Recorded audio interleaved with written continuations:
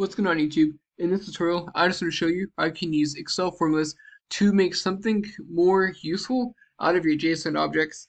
If you have a file with JSON objects that's just not importing right into your Excel sheet, or if you might not be using the newest version of Excel. So here we have an example JSON objects, an example JSON objects, and one thing to note is that they're fairly simple in nature in this example.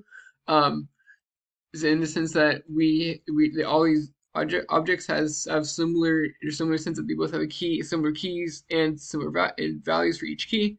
Um, also, they're not super nested, so this might not be perfect for your case, but it should hopefully at least get you part of the way there.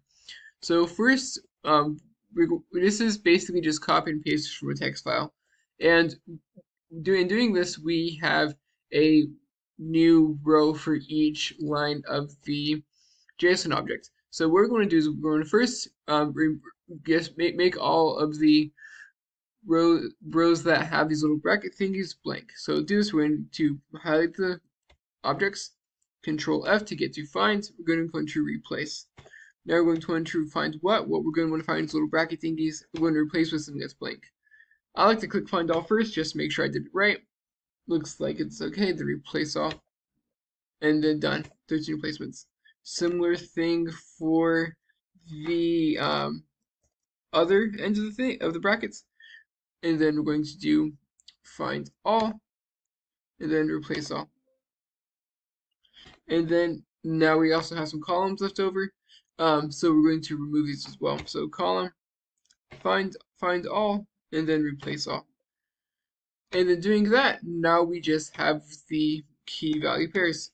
So you can leave it formatted like this, or you can remove the spaces in between. Um, we also have these have these two brackets right here. We can just manually remove those. Um, so now what we're going to want to do is we're going to want to, to remove these anything that's just not these key value pairs. So the colors right there. Scrolling down to make sure we got everything. Okay. So now we just have our our keys for each object and then the associated value. Um, now we're going to do is we're going to want to split these columns. So to do this, we're going to again highlight the values and then do Alt A E to split the columns. We'll, we're going to split the column not based on fixed width, but on a delimited, so just based on a specific item. Next, so what do we want to split it on? Well, we want to split it on the thing that's separating the keys and the values for the JSON objects. So here you can see, in this case, this is a semicolon. Um, so we're going to do that. And as you can see, here's a preview. Scroll down a bit just to make sure it looks okay. Once you have the keys in one column, the values in another. Okay, that looks like it did it right. Um, we're going to do click, and they're not, we're just going to click finish. And then as you can see, we have keys here, and then values right here. Now we're going to format it right here. So first thing we're going to do is we're going to have a row with the keys up top, and we're going to have um, values for each row going going down. So to do this, we are going to use the transpose function. So transpose, open parentheses.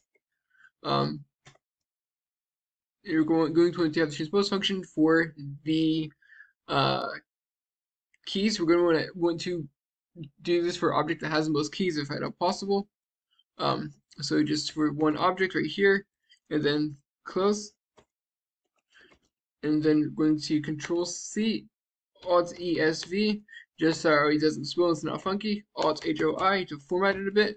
And now we're going to use the filter function to be to get the values for each um, key. So the equals filter, open parentheses. Well, what do what do we want to filter? Well, we want to filter the values, right? Now, what do we want to include? Well, we want to include the values where it is it is um, equal, where we want to include we want to filter these values if the key is equal to the key above.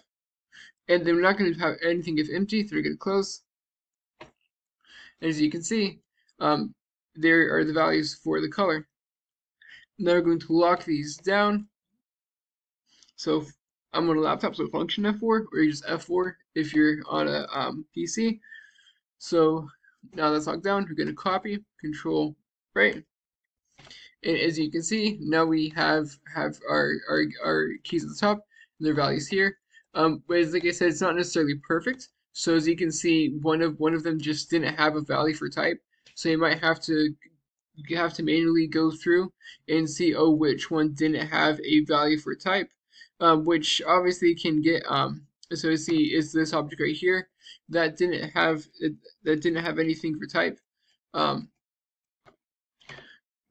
but that said, if nothing else, I hope that this will at least get you part of the way towards getting some JSON objects into a table format that should hopefully make the data a little bit easier to use. Um, that said, if you like this tutorial, please like, subscribe, comment. Thank you so much for watching. Hope you have a great day.